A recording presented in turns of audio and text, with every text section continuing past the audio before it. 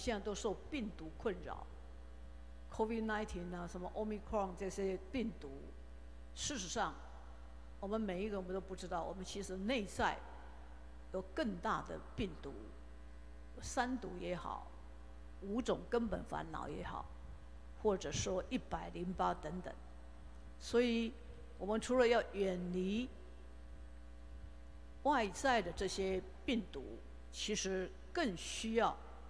排除我们无始以来带来的那些三毒，所以如果总体来讲，我们其实每天都在啊给自己吸毒。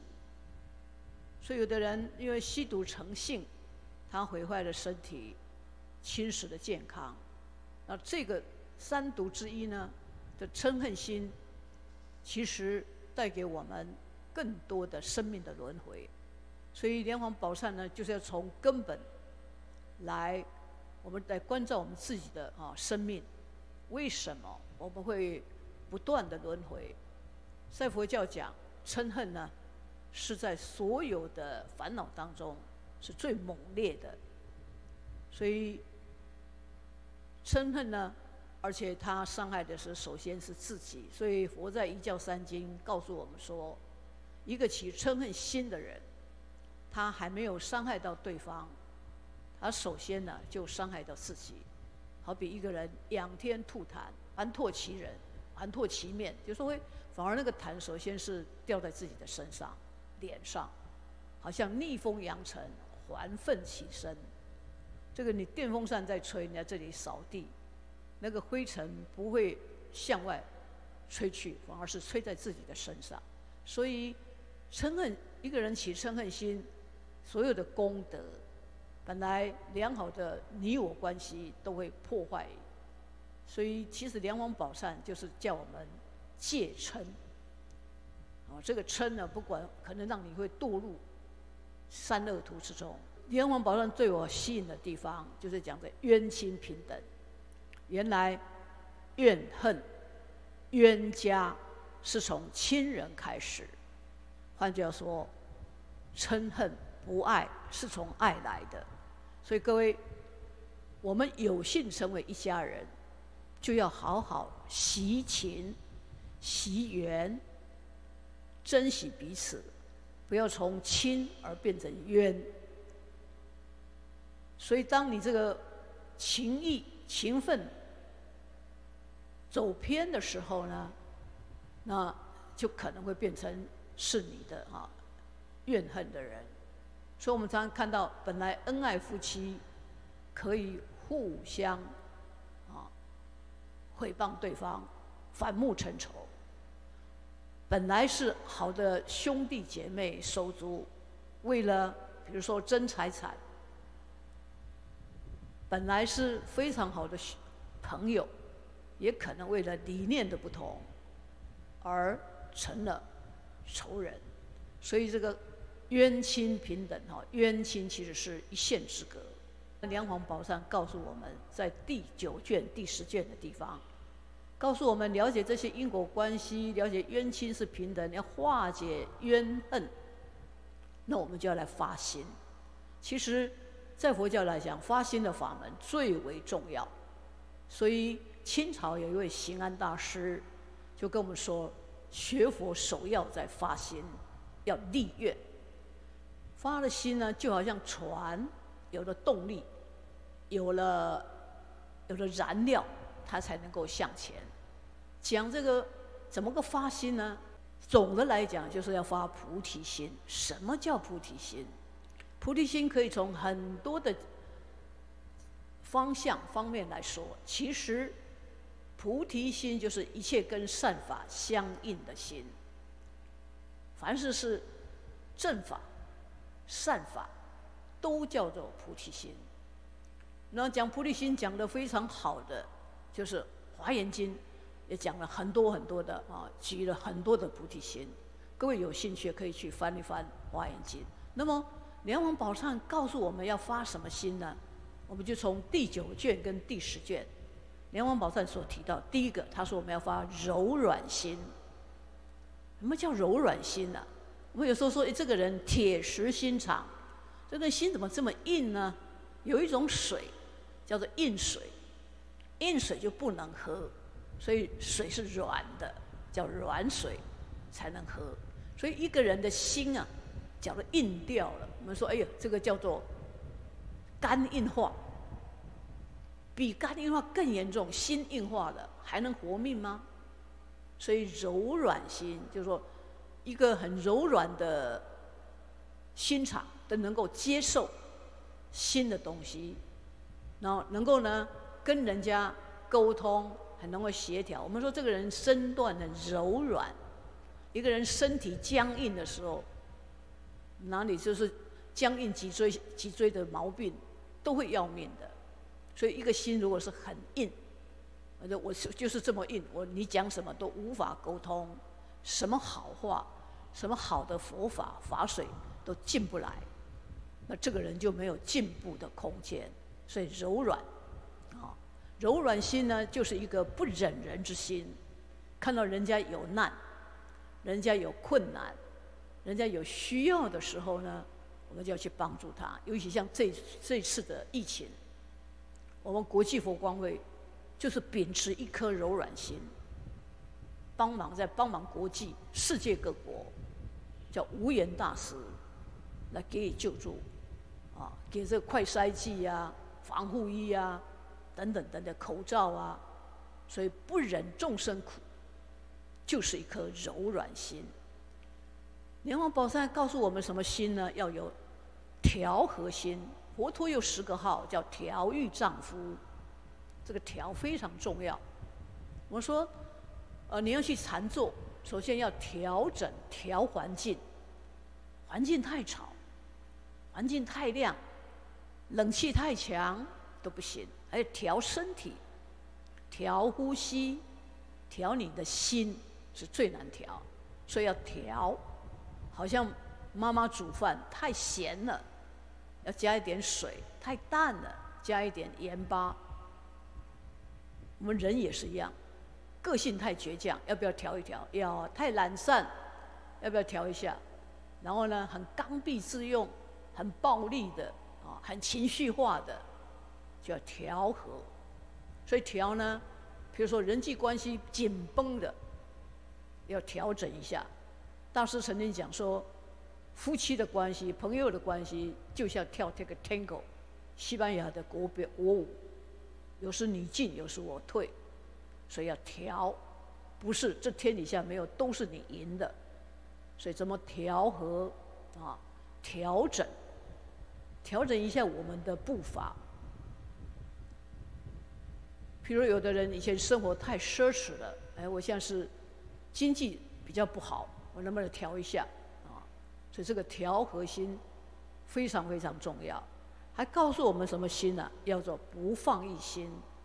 不放一心其实就是六度里面的精进。精进哈，所以精进呢，这个懈怠就是精进的天敌。所以这个精进呢，就分为身精进、心精进。各种精进，三十几种精进，不能放逸。放逸就我懈怠下来啊！啊，你说我已经够累了。譬如说我来拜莲王宝山啊，人累了，算了，我这个第几卷我就不要参加了。哎呀，我已经去过了，那个道场我已经去过了，所以不能放逸。有人说，我们人每一个人的每一天有。二十四小时乘以六十分钟乘以六十秒，一天哦，每个人的一天有八万九千四百秒。各位，假如你今天丢掉了八万九千四百块四百元，你心疼不心疼？心疼啊！但是，你如果荒诞放逸，你轻忽的把每一天的八万九千四百秒就这样空过了。你心疼吗？你不会心疼。八万九千四百元丢掉了，再去赚，努力去赚，可以不可以赚回来？可以呀。但是你今天的八万九千四百秒丢失了，荒荒废了，能再回来吗？生命是不可能 NG 的。所以，当你想，各位去想想看，你每天有没有浪从你的指缝当中有没有浪费掉很多的啊生命？所以普贤警众记讲的不很传神吗？生命的消逝，不经意间，就好像燃眉之急，头上在烧了，眉毛烧了，好像那个雨水一天比一天少。这么热的天气，没有水，生命是不是在递减呢？所以怎么样不放逸？所以我去年参加过的活动法会，昨天参加过，我就不要再参加了吗？每天都是不同的啊生命状态。有个弟子去问马祖道一，说：“师父，怎么样开悟？怎么进步？”他说。日面佛，月面佛，什么叫日面佛、月面佛？就是日新月异。你每天都要给自己崭新的生命，都要有新的生命的活水。第再来会发什么心呢？梁王宝上告诉他发极灭心。极面就是你面对动荡的世世界，动荡的环境。哇，这个疫情一会儿这样。啊天气的炎热，然后人事的变故、疫情的严峻等等，你这你就不动，不跟着环境起舞，就寂灭。寂灭不是死寂哦，是面对动荡的外境，你不动念，你不动心，你慌不慌乱，啊，是寂灭。所以这其实就是一个禅定的功夫，好像说泰山崩以前。好比说地震了，有人呢搞不清楚方向，反而酿成悲剧啊！所以极灭心，还有什么叫极灭心？我面对诱惑，世间的诱惑，可能影响到我的人生观、我的价值观，啊，我的价值观这个改变了。所以面对诱惑啊，各种有钱财的诱惑啊。名利权位的诱惑呀，美色的诱惑呀，乃至一些物质的诱惑，我动不动心？嗯，我不动啊。所以，这个也是一个很重要的心。梁皇宝善教我们要发真诚心，就真如心。我们所有一切的努力，就是要把我们真心找回来。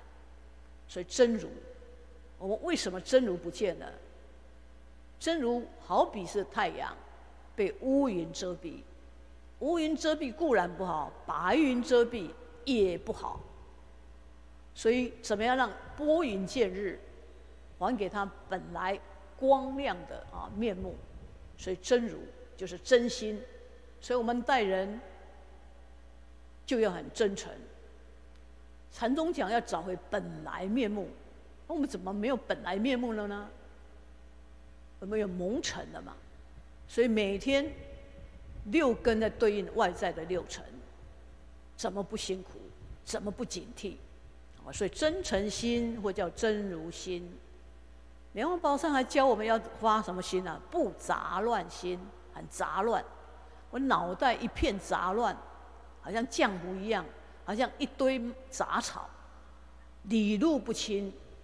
啊，有人我们跟他讲话，某人有些人我们跟他沟通，就是逻辑理路不清啊，很糟糕，揪成一团的。所以，什么叫不杂乱？就是正见、知见很正确，是非很分明，因果很坚定，就不杂乱。是非什么该做，什么不该做，什么什么一必须要去做，什么要避免。不杂乱，什么心呢？无贪吝心，就是不贪。贪呐，很多东西就是从贪啊贪来的。贪，所以我们人生有很多关：名关、利关、钱关、情关、恭敬关，关关难过。只要过五关，不一定要去斩六将，要铲除自己心魔啊，所以一个不贪念。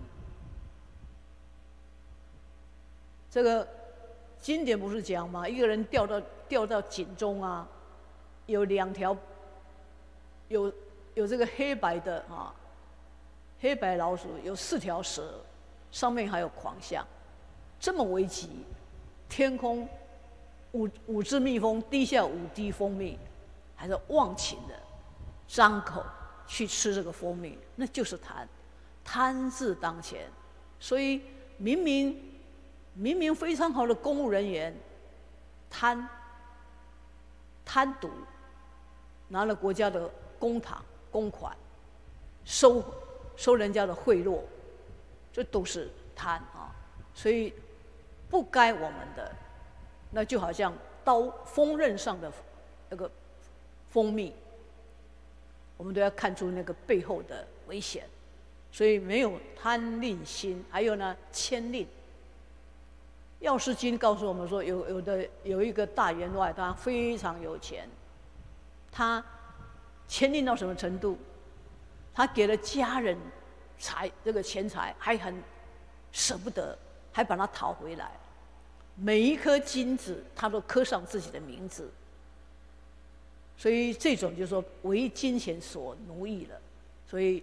贪吝啊，所以普贤十大愿，你们叫我们说广修供养，何其难呐！怎么可能广修？所以先从小修供养做起。有很多我们看有很多很富有的人，但是他没有这种施舍心，没有这种布施结缘的心啊，贪吝。再来叫我们要有一个大圣心，要求追求佛法。大圣说：“我们要找一个很学习殊胜的佛法，要给自己啊非常好的目标。说我今发心不为自求，也不要求二乘，甚至来自全乘全乘菩萨，唯以一乘心，要求最高的阿耨多罗三藐三菩提啊大圣心。当然发什么心为重要，大慈悲心。”还不是小慈悲心哦！我常常问学生，佛光山的佛学院的学生，我说：“你们在什么殿做早晚课啊？”叫做大悲殿。观世音菩萨是住在大悲殿呢，那为什么不叫小悲殿呢？嗯？为什么？因为观世音菩萨他是大慈悲心，他悲的是不悲则已。有个菩萨叫做长提菩萨。不哭则已，一哭就像黄河长江泛那样那样子哈，一江春水向东流。什么叫大悲？悲大众的事情，悲众生还在受苦，所以叫做人利己利，人饥己饥呀。所以我们佛教讲大爱不够，那个爱还是贪婪的。十二因缘里面最麻烦的当然是过去式的无名，还有现在式的爱。可爱，说大爱怎么够？不够，所以化爱为慈悲，悲大众还在生死轮回，还在还在这个痛苦当中，还有悲什么？悲大事未明呐！我们大事什么事？我们自己还在生死里面轮转，每天在无名里面轮转，每天在跟自己的不正确的知见、知见里面哈一来一往，跟错误的知见。悲大事为民，悲大众啊为度，所以叫做大悲，要发这个大慈悲心。所以我们不是求自己好了就好了，我管我自己的啊门前雪就好了，不管他人瓦上霜。真正的佛弟子，大乘佛弟子，不是这样子。我觉我们觉得还不够。为什么我们叫大乘？因为我们坐的这一辆车是大车子。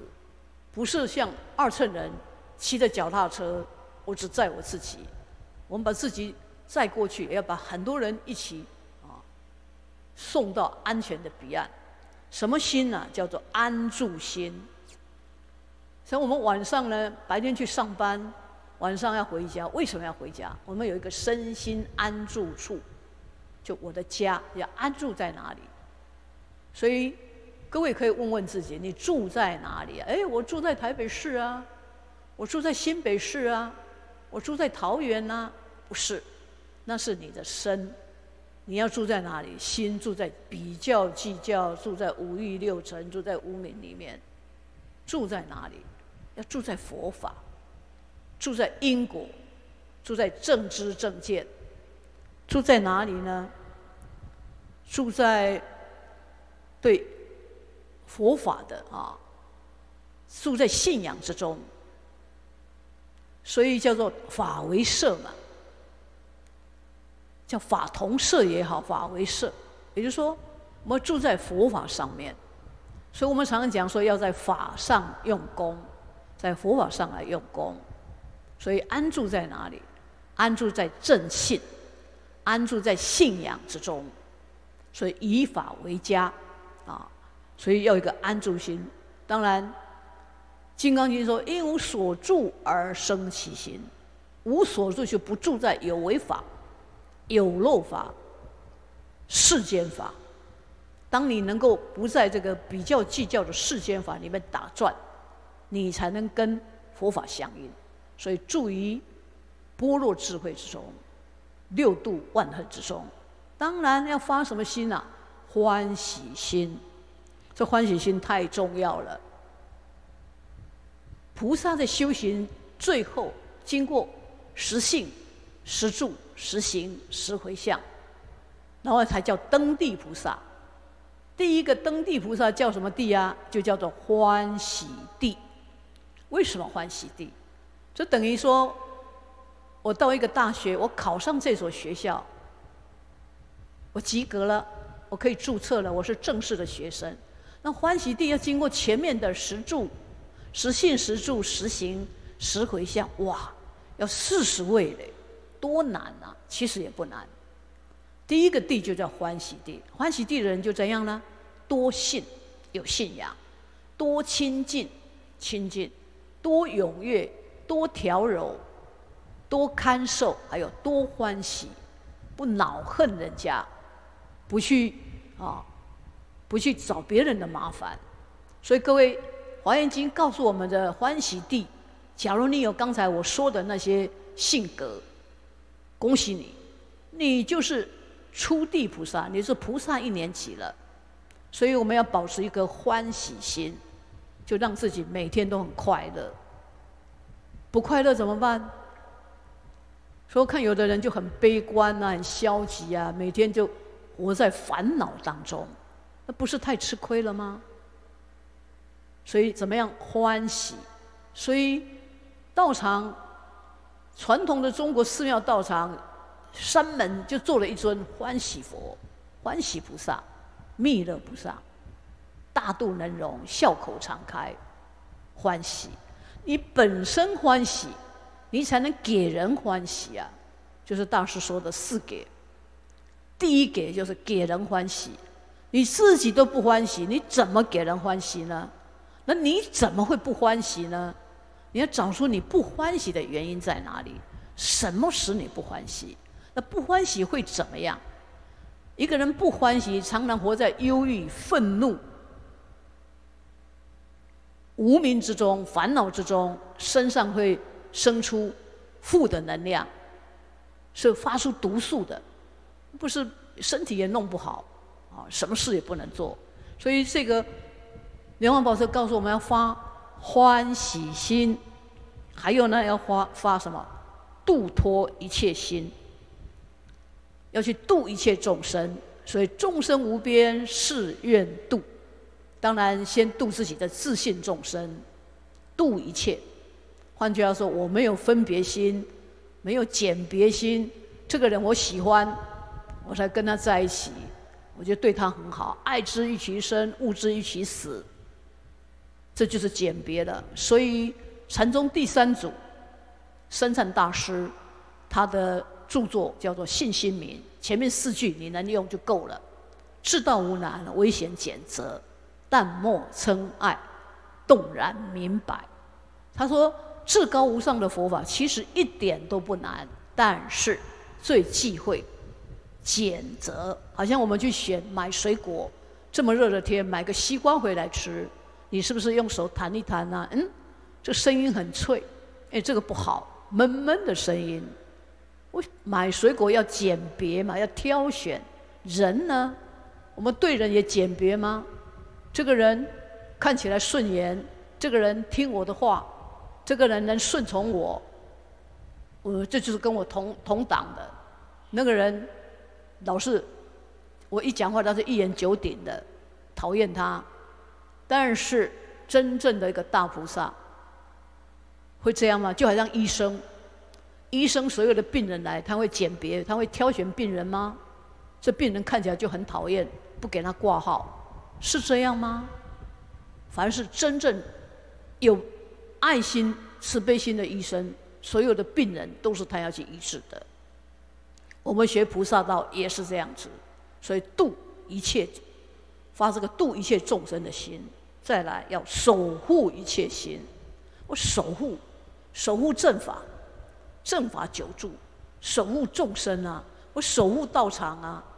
我们在家的居士，我守护我的家庭，守护我的家人，我守护，守护这个社会，有一种守护的心哈，也非常非常重要。啊，有的人没有家庭责任，出去像丢掉，回来像捡捡到的，我要守护，守护一切心。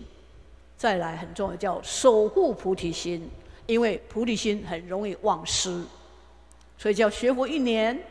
佛在眼前，学佛三年，佛已不见；学佛十年，佛往西天了。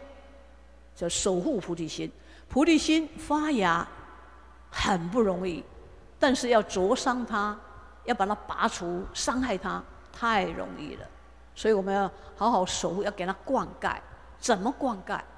听法，就像这样，参加法会，去修福德，啊，做义工。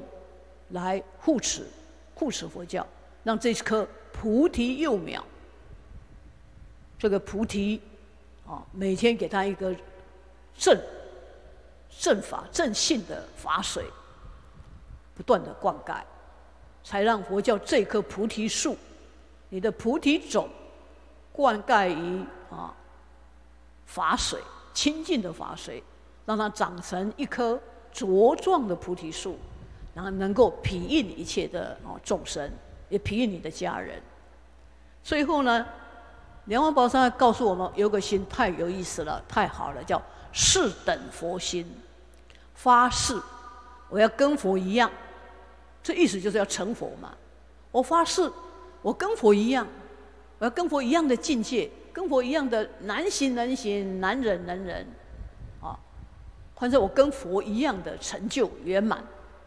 这就是成佛，所以我常常说，我们作为一个学生，对你老师最大的报答，就叫青出于蓝而胜于蓝，比你的老师优秀。作为子女后代、子孙后代，你怎么样报答你的父母恩？你要比你比你的跟你父母一样优秀，或者是超越他，比他优秀。作为佛弟子，怎么样报答佛恩呢？成佛给佛看，就成佛。所以我说我们佛教很棒，我不是坐在佛的旁边，我说佛陀一样，我有一天跟你一样，我要坐在莲花上，我成佛了。所以是等佛心，当然佛怎么成佛？我不是在这里喊我要成佛，我要成佛，我就成佛了。所以我要向佛，佛是老师，我怎么成佛的过程，我要学习啊！我发誓，我跟他一样修。修持各种的啊法门，实践菩萨道，所以菩提心只有这样吗？柔软心，其实包容心、忍耐心、布施心，凡事各位去想，凡事跟正法相应的心，都叫菩提心。那么发了心呢，你就有那个动力，你就可以这样时时的提醒自己：我懈怠了。我有一点哦没力气了，就是在提醒自己。我相信大家都应该身口意三业都应该非常的清净，那一定可以得到平安健康。啊，诸佛菩萨一定会保护你、护持你。谢谢大家，阿弥陀佛。